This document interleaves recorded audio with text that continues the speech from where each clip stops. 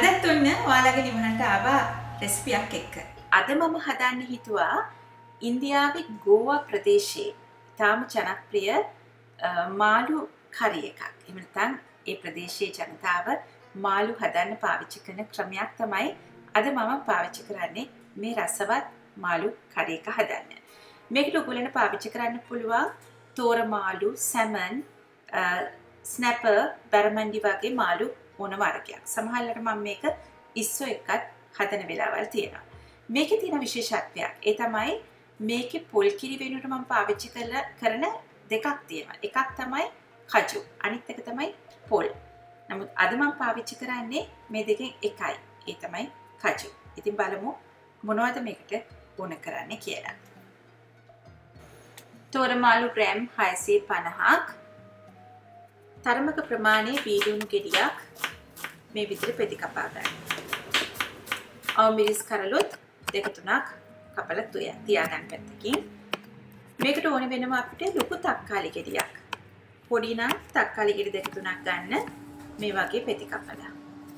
කජු මත සාමාන්‍යයෙන් 15ක් 20ක් විතර වගේ කියන්නේ මේසන් දෙකක් විතර මාල් ටික හොදලා ඉවරලා අපි මේක හොඳට තිත මාත්තු කරගන්න ඕනේ. ඊට පස්සේ තමයි මැරිනේට් කරන්නේ. මුලින්ම අපි දාමු ලුණු ස්වල්පයක්. ඉඟුරු සුදු ලුණු ස්වල්පයක්. කහ. ඒත් එක්කම මිරිස් කුඩු ස්වල්පයක්. දැන් මේ ටික ඔක්කොම හොඳට අතගාලා මාළු කෑලි කැඩෙන්නේ නැති වෙන්න අතගාලා මම අනිත් පැර ටික සූදානම් කරගන්නකම් මේක පැත්තකින් තියලා තියෙනවා විනාඩි කිහිපයක්. මේ මාළු එක හදන්න මම පාවිච්චි කරනවා මසාලා එකක්, පේස්ට් එකක්. ඒ පේස්ට් එක හදාගන්නයි දැන් යන්නේ. දැන් වෙනද අපි පේස්ට් එකට ඕන කරන දේවල් දාලා අපි ග්‍රයින්ඩ් කරලායි ගත්තේ.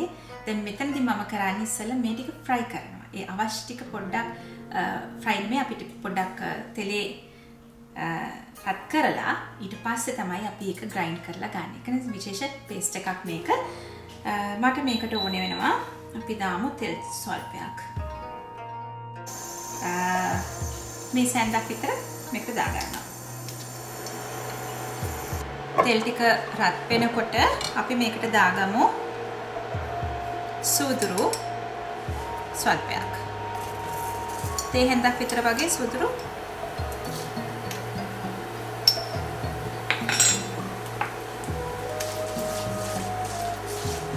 සූදුරු සුවඳ එනකොට පොඩ්ඩක් මේක පාට වෙනස් වෙනකොට මම මේකට දානවා කපාගත්ත ලුණු ටික. දැන් මේ ගානට මැලවෙනකොට මම මේකට එකතු කරනවා ඉඟුරු සුදු ලුණු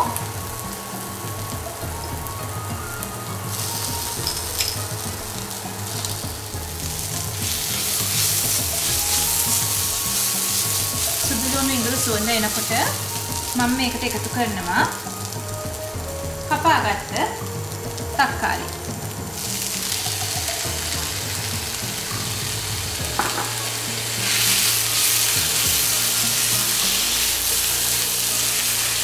මගුලන් කිව්වා මේක මම ගන්නවයි කියලා කජු. කජු මේස හැන්දක් දෙකක් විතර මම මේකට එකතු කරනවා.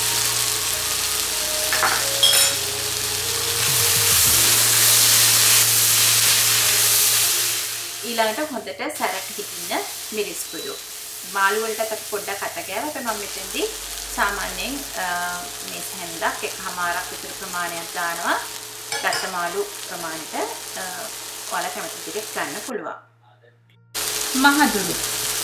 මහදුරුත් මම තේ හැන්දක් විතර වගේ එකතු කරනවා. මේ ටික හොඳට මිශ්‍ර වෙනකන් හැන්දෙන් පොඩ්ඩක් මේ වගේ පොඩි කරගෙන රත් කරගන්න. දැන් ඔයාලට දැනේවි මේ මිරිස් රත් වෙලා ඒ සැර දැනෙනකොට මම මේකට එකතු කරනවා අන්තිමටම මේ කහ කුඩු. කහ කුඩු ස්වල්පයක්.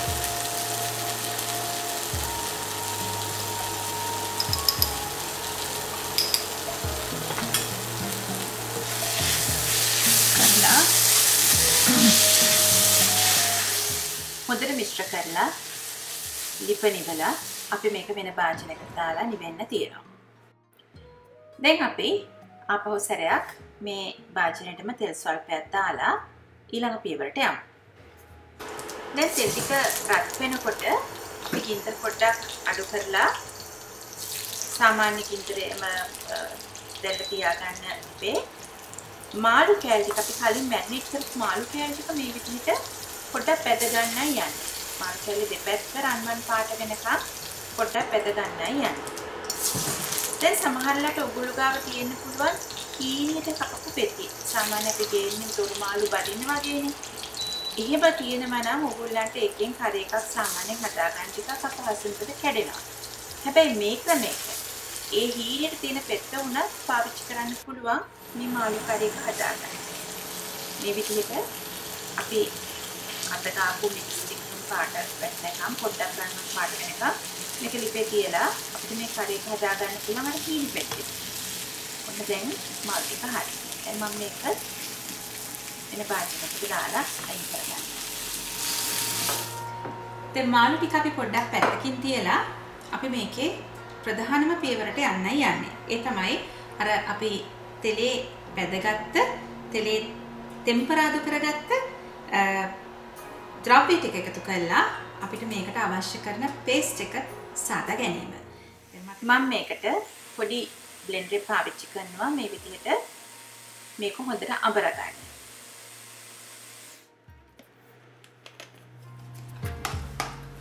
මේ ගාන්ට මේ පේස්ට් එක ආවනම් ඇති. හරි. දැන් පේස්ට් එකත් හරි. දැන් ඔන්න ඊළඟට මාළු බැදපු භාජනයටම තෙල් ටික රත් වෙනකොට මම මේකට දානවා. පස්පිංචා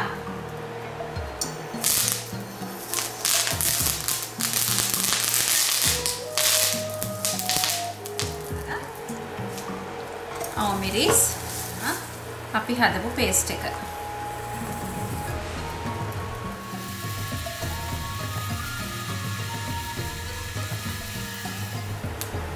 ඔගොල්ලන් හිතෙනවා නම් තව මිරිස් ටිකක් මේ මේකට ඕනේ කියලා ඔන්න මේ අවස්ථාවේ ඔයගොල්ලන්ට පුළුවන් මිරිස් ටිකක් ඕනනම් එකතු කරගන්න. ගරම් මසාලා තේ හැඳි එකහමාරක් විතර මම එකතු කරනවා. ඊළඟට හොඳට මේක මික්ස්චර් කරලා අපේ මාළු කෑල් ටික ඉදෙන්න ඕන ප්‍රමාණයට වතුර එකතු කරන්න. තව මම එකතු කරනවා සියඹලා යුෂ ටිකක්. මම තව චුට්ටක් ලුණු එකතු කරනවා. මට හිතෙනවා ලුණු ටිකක් තව આવොත් හොඳයි කියලා. හරි. දැන් අපි අපි බැදගත්ත මාල් ටික මේකට එකතු කරමු. මද ගින්දරේ ලිප තියාගෙන මම මේ මාළු කෑල් ටික මේකට එකතු කරනවා. මද ගින්දරේ විනාඩි 5ක් විතර මේක අපි මේ විදිහට ඉදෙන්න අරිමු.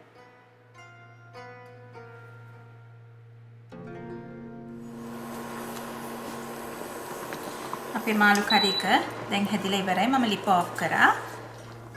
ඉවරයි. අපි මේකට කිරි දැම්මේ නැහැ. ඒ වෙනුවට අපි පාවිච්චි කරේ තික් පේස්ට් එකක්. ඒ පේස්ට් එකෙන් තමයි මේකේ තික්නස් එක ආවේ. වගේම කරේකට අවශ්‍ය රසය ගෙනාවේ. විශේෂ දෙයකට මම එකතු කරේ කජු. ඉතින් ඉතින් මේ විදිහට හදාගන්න මාළු කරි එකක් ඔයගොල්ලන්ට පුළුවන් ෆ්‍රයිඩ් රයිස් එකක් එක්ක රොටි එකක් එක්ක එහෙම නැත්නම් ටෝස්ට් එකක් එක්ක උනත් රස බලන්න. එහෙනම් රස බලන්න තව දවසක තවත් රෙසිපියක් එක්ක මුණ ගැහෙනකම්